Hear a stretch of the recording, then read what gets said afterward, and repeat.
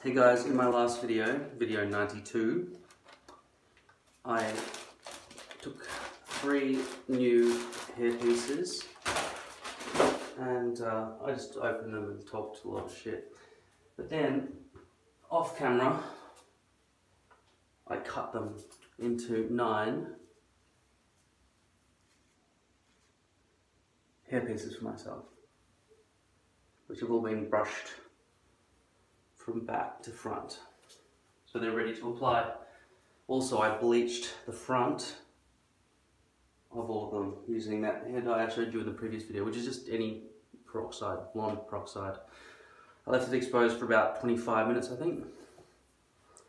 And after that time, uh, the hair had lightened, but not become completely blonde. And I thought that's not fair enough. That's a, that's enough time. And I just washed it off, and then and then rested each hairpiece on. I flicked the water off like that, and then I put each one on my knee, and then brushed it in the direction I wanted it to be, ready for application. Then I pre-glued my head with Walker Ultra Hold. I forgot to apply the uh, sweat prevention stuff. It's on the floor somewhere. The Walker Tape uh, Max Sport, no sweat stuff. I didn't use it. And then after that, see, no, there's no glue here, right? But there's, there, I put glue on my head up there, so I could put this on first. It's just a lot easier, I find, because if you if you put the glue on there first, then add alcohol, alcohol to that, and then push it down, it just doesn't uh, dry quick enough. If you put it on your forehead first, then wait for it to dry, then spray alcohol, it'll be dry again within about 30 seconds. So within that 30 seconds, after I've sprayed alcohol on it, I put this on, just jostled, jostled it into position, and then that was it. Then I brushed all my hair back, and then I painted this with Walk Ultra Hold. And now, I don't really see any need to put any alcohol down, but I'll do it on there anyway. And now I'll just put it into position. By the way, if you can see, I didn't cut that number out, so I'm hoping that won't become visible to anybody. And I didn't have to guess where to put the glue at any point in, the, in, that, in that operation. That's on there, all the way around to the edges. Now I'm just going to pull it down to where I think my front hairline should end up, which is there. If I cut it correctly, Hopefully that all lands in position exactly. And that will not dry within 30 seconds like it would if it was lace because there's no air getting to the area that I just sprayed with alcohol. So why did I spray the alcohol? I just get the feeling that if I melt the glue a bit before it adheres to the other surface, it has more of a potential to get into the microscopic grooves. If you know how a gecko's foot works, how, how a gecko can walk upside down on the ceiling with its feet, because microscopically it has thousands of tiny hairs on its feet and they all grip into little gaps in the microscopic paintwork or timber or something, allowing it to grip on well enough so it can walk up and down. Because remember, a gecko, a, a lizard, is much heavier than an insect. So I'm reluctant to brush this back with full force. I'm just doing it gently while it's still drying. And by the looks of things, I have put it on on an angle.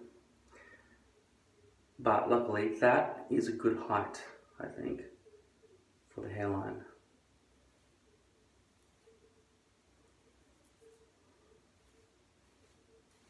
So tomorrow when I give myself a haircut, I'll begin by chopping that bit out. Now let's have a look up close at these V-loops that I've claimed to have bleached perfectly.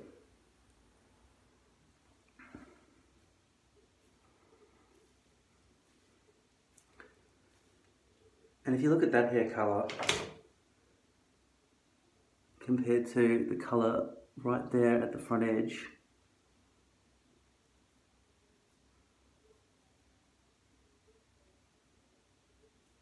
it's just slightly lighter there. I could have afforded to have left it on longer, but I'm not sure if this was one of the earlier pieces that would have had an extra five minutes to react.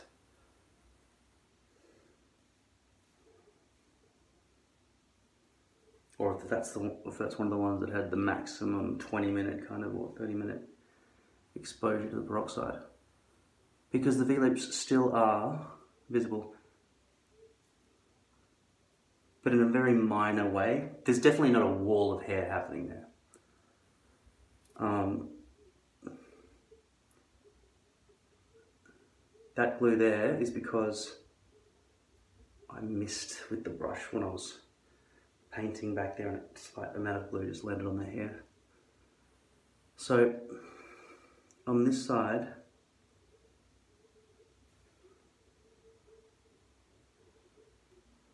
yeah, that I will I will cut all of that out tomorrow, remembering that you cut below where you want it to end, and then hairs will start to be sacrificed along that edge, and then you cut it out a second time because you can't just cut back in where you want because you'll lose a few hairs. And just trust me, you need to cut it twice. Cut it shorter, like prematurely, and then just get that last bit of overhang with a second cut. And then you've obviously got to clean off that glue. Well, I've obviously got to clean off that glue. In terms of the, how did it land over here? Fairly good. It goes right to the edge. Now, in terms of the seamlessness from my forehead, there is almost, well, there's basically no lip. Remember I was talking about the lip in the last video with the Swiss lace, with the French lace. And I said that French lace is about 30 times thicker than 0.03 millimeter. If if, if French lace is one millimeter thick, I might be exaggerating, it could be 0.8 millimeters thick. But if it's one millimeter thick, then it'll be 33 times 0.03, right?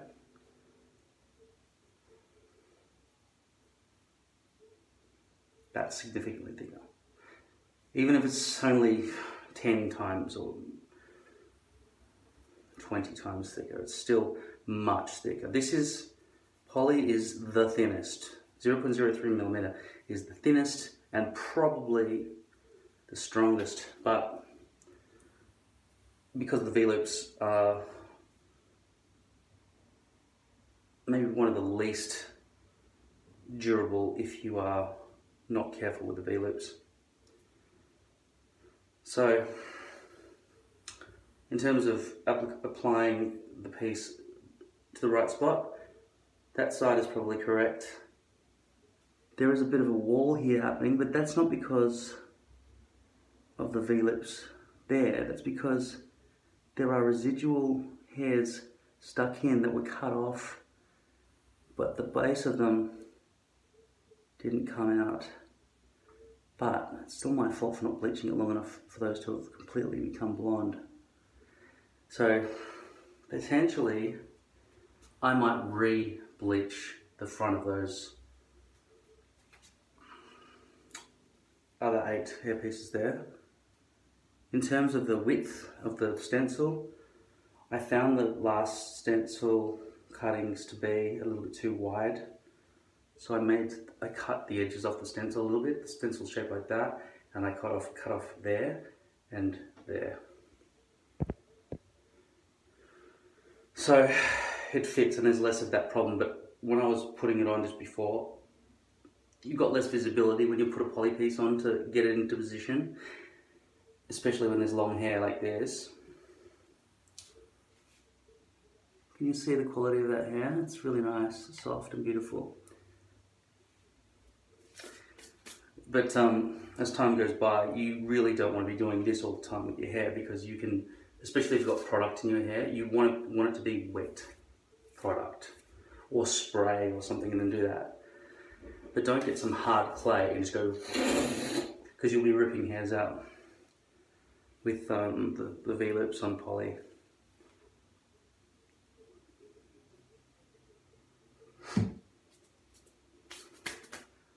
So,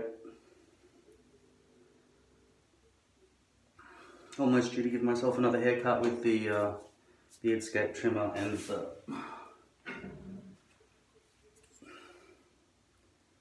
18 millimeter attachment.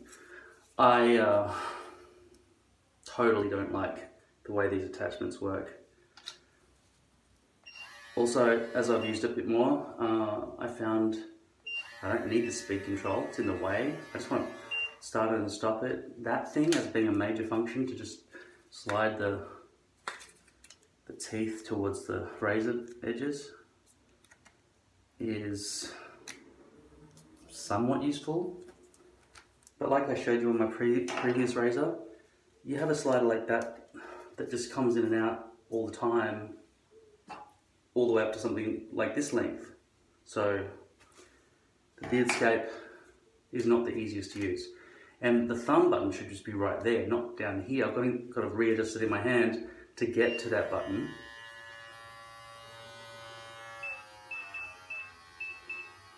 And it's not completely quiet.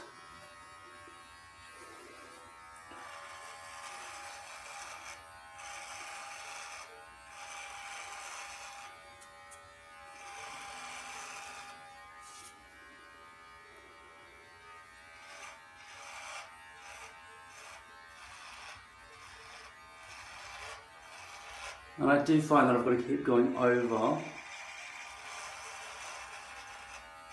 the same spot more than once. So it's not a miracle of nature or anything. It cost me 180 bucks. It should cost you 50 or 60 dollars if you're in we're number one country.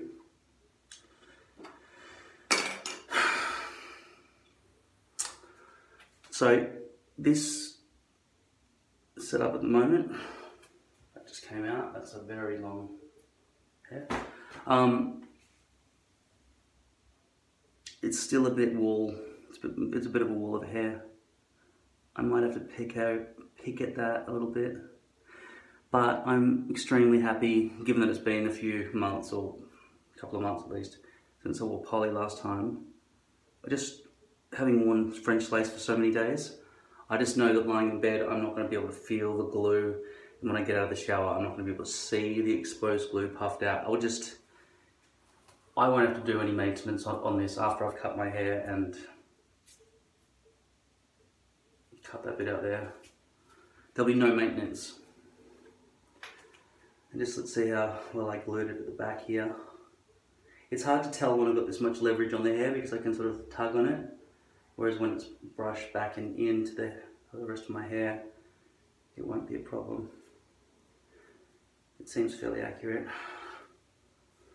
So that's the result of the bleaching. And the other thing I found to be hugely effective, not only in making the transition from skin to hair good for a white man, if you're especially pale, even just doing a bit of this along the front, I haven't tried it with poly. I don't really want to stain the plastic with the stuff. But this stuff's really good. Tan in a can. Tan airbrush in a can. It's really good.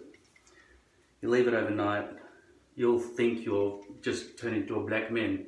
But um, when you shower, you'll lose about 80% of the darkness. But it'll still be tan looking. It looks very brown, not orange at all. You can do your whole face, but I'm just going to do the front top bit at the moment.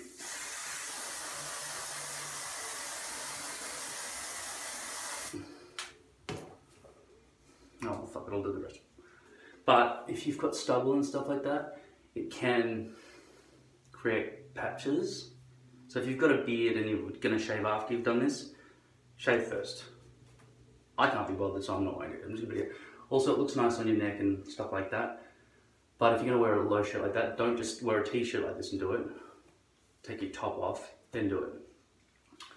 And get a towel and, and wipe your ears down because your ears will not hold the tan look naturally. I'm running out of this stuff. I really love it. I'm gonna get some more.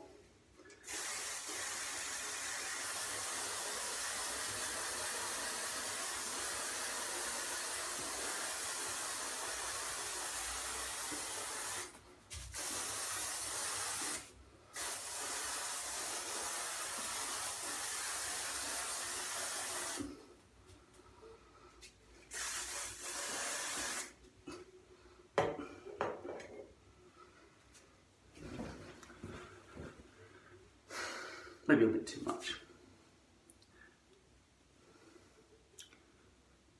And do as I say, not as I do.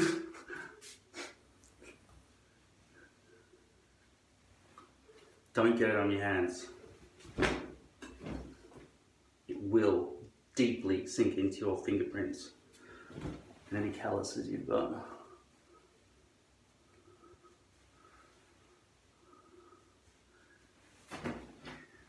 Doesn't really matter if it looks all, you know, disgusting on one part more than another either because when you wash it, it'll fade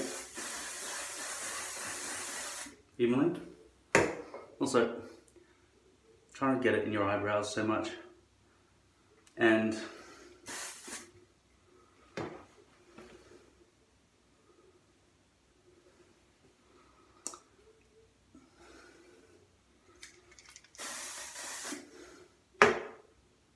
Probably hold it further away from your face and stuff.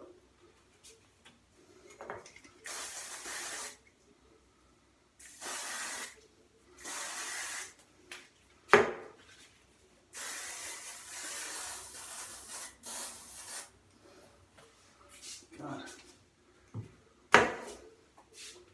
Make sure you get your hump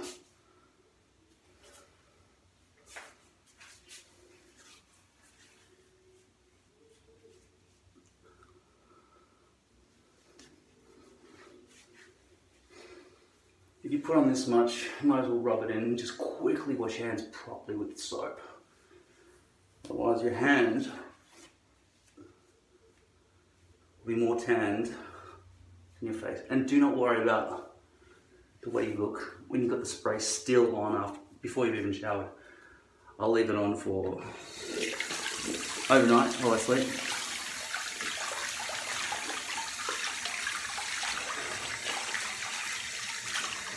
Needs soap.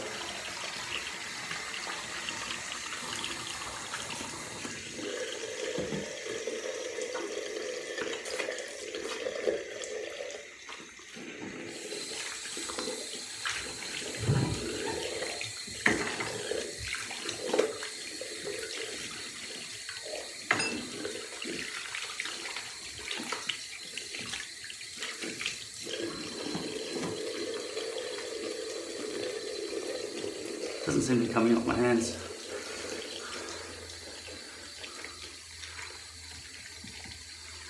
I might have to do it again tomorrow in that top part of my forehead as well after I cut that back. Because I really can't be bothered doing it right now.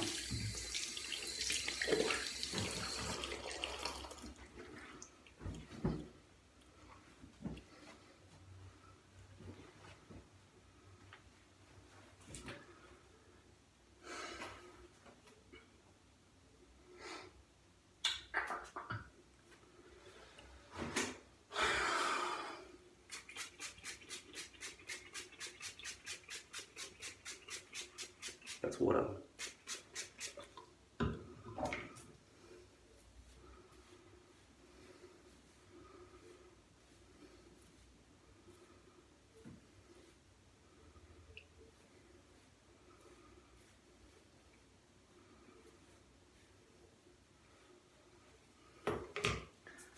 And um, probably best if you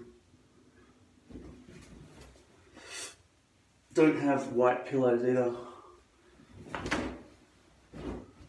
Yeah, I'll, I'll, probably come back tomorrow and either show you the rest of the cutting and stuff or you know you for a few weeks or something. I don't know how old they. Um, this is what you'll look like. You want to be like me. Makes your teeth look whiter. Don't worry, it seriously will not look like this when it after you've had a shower. Most of this is just the stuff that is put in here as colouring to sort of show you where you've sprayed. Trust me, it's okay.